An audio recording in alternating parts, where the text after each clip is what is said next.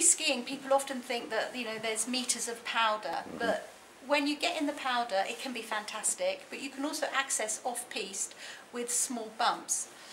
Now, the thing is about powder skiing is that a lot of people wait until there's the blue sky days, mm-hmm. 30 centimetres of powder, before they want to go and do it. But a lot of the time, it's a good idea to have a little bit of an inst instruction to get your basic technique good or get your technique better when you're skiing off piste. So when that window does open up and there is the 30 centimetres of fresh powder and the blue skies, you're armed with the tools to be able to ski it comfortably.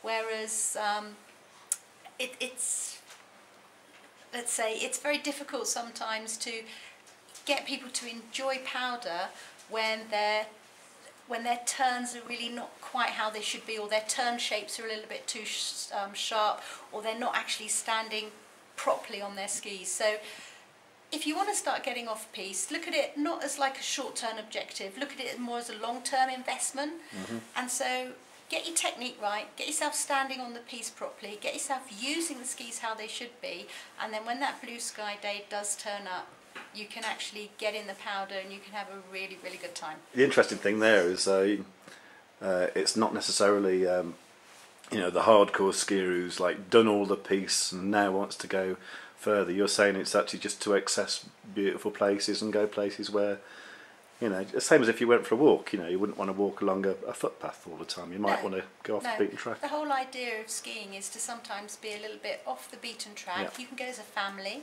you can go with different ranges of skier, and or snowboarders. We can take snowboarders and skiers together, yeah. and it's just to, to enjoy something, to enjoy half a day up the mountain together, and you, you don't necessarily have to be a fantastic skier to do it. Um, as long as you've got a pretty sound technique, yeah. you know, we can choose off-piste runs that are suitable for most upper intermediate to advanced skiers. Of course, there's the hardcore stuff, stuff but you don't necessarily have to be, yeah. be hardcore to get off the beaten track.